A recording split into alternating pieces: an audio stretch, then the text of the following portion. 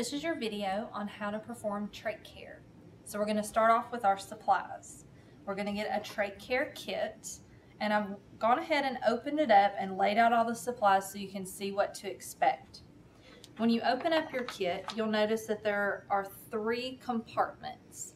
Now, different packages will look a little different. Some will have a bucket that you can actually remove and put off to the side but this one is packaged with the three buckets separate in one section. Within the kit, you will have a trach dressing, which is a fenestrated, or it's got a slice through it, gauze. It will have pieces of gauze, a trach tie, which honestly is not needed anymore because we have Velcro commercially available ties. You'll have a wire brush, Q-tips, pipe cleaners, sterile gloves, and your sterile drape. This particular kit came packaged with hydrogen peroxide, but most oftentimes you're going to have to get a bottle of hydrogen peroxide um, in addition to your kit. This package also came with a very small sterile saline bottle, but again, I went ahead and got another one because most times you will have to get another saline bottle as well. So now we're going to perform trach care. So I wanted to go over the different parts of the trach first. First off, you notice the oxygen delivery system that we have on the patient. This is called a trach collar. All it is is an oxygen face mask, except rather than being over the nose and the mouth, it's directly over the trach. So this is just an oxygen mask and it's called a trach collar. It has a snap, so we'll remove that so we can look at the trach itself. This one, there's a lot of writing on trachs, so you just have to know where to look. Over here on this side, which I know you can't see very well, but this says no cuff. So there's not a cuff on this trach, meaning that there's nothing on the inside to hold this trach in place. The only thing that's holding this trach in place are these ties right here. So they have to be very snug, otherwise the patient can cough very hard and the trach can come out this on this side it tells you what size it is. So right here it tells me it is a number six. So I see right there it's a number six trach. um, usually in the hospital we have sixes and eights for adults. This one you see the aquamarine writing on it and it says lock. This lets me know it twists to lock and unlock. So there it's locked. Now it's unlocked and I can take it out. This is called the inner cannula. This is the outer cannula the patient can still breathe with this in, even if you take this out. This is your safety device. So that if the patient were to get some sort of mucus plug or secretion to block their airway, you can take this out and the patient can still breathe. With this type of trach tube, this requires trach care and usually twice a day cleaning, sometimes every eight hour cleaning. So this one is a non-disposable. A disposable inner cannula looks like this. It has these little flanges on the side that you can grab and pinch. Trachs that have inner cannulas like this, these are disposable so they can be thrown away and replaced every day or twice a day. The other thing you may see is a red cap and this is an entire tube. You may just see it's called a button and it's red. If you see red, that means that it is blocked off. So if I were to put this in the patient's trach, I have now completely blocked the trach. This is for someone who is doing very well and they're getting ready to have their, take, trach, their trach taken out.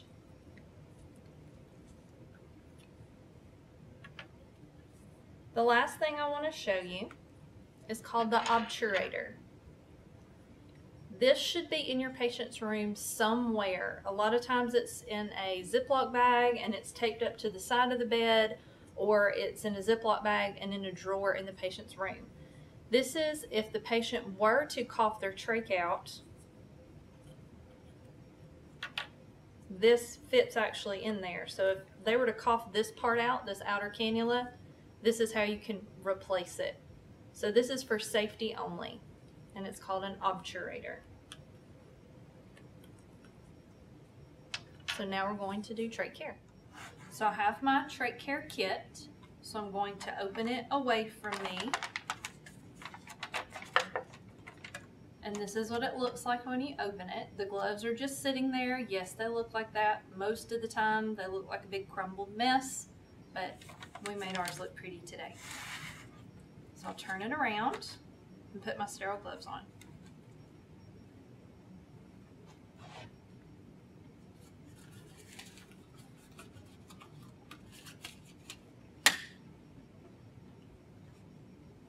When you put on your sterile gloves, you want to make sure that you're away from your area so that you don't touch anywhere on the outside of your sterile field. So now I can touch just on the inside. So I'm to slide that over there. I have my drape. Shiny side down. So that folded up, so I'm not to use that area right there. I'm just to stay over here now. This is my saline.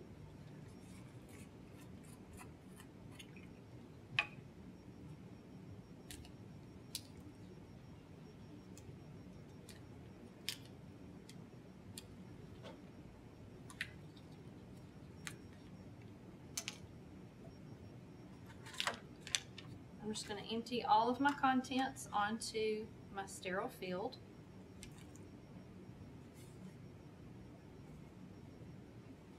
Now for this demonstration, they gave us some hydrogen peroxide and they gave us some saline. Most times in the hospital, you have to get your own.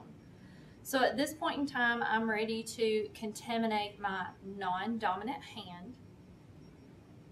So I'll come over here to the saline or peroxide that was non-sterile and open that.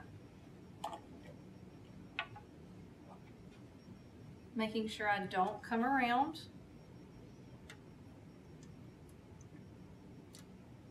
And you're going to fill up all three buckets with your fluid.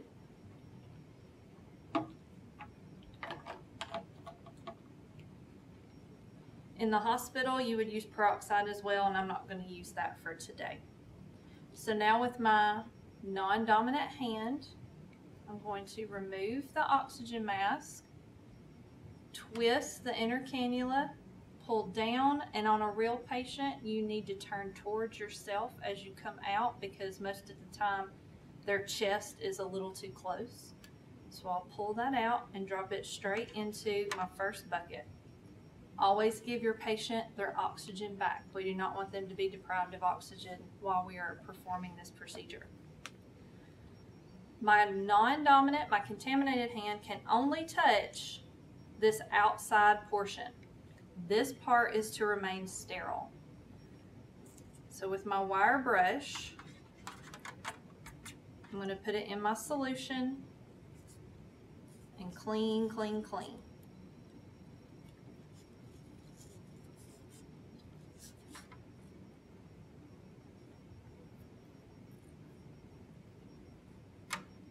I'm done with the wire brush. Now I'll rinse in my other bucket.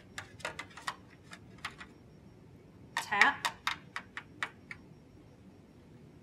I can move the oxygen now because the sterile part is over with. And lock it back in place. That's the only thing that's sterile about this procedure. Now I'm ready to clean the outside.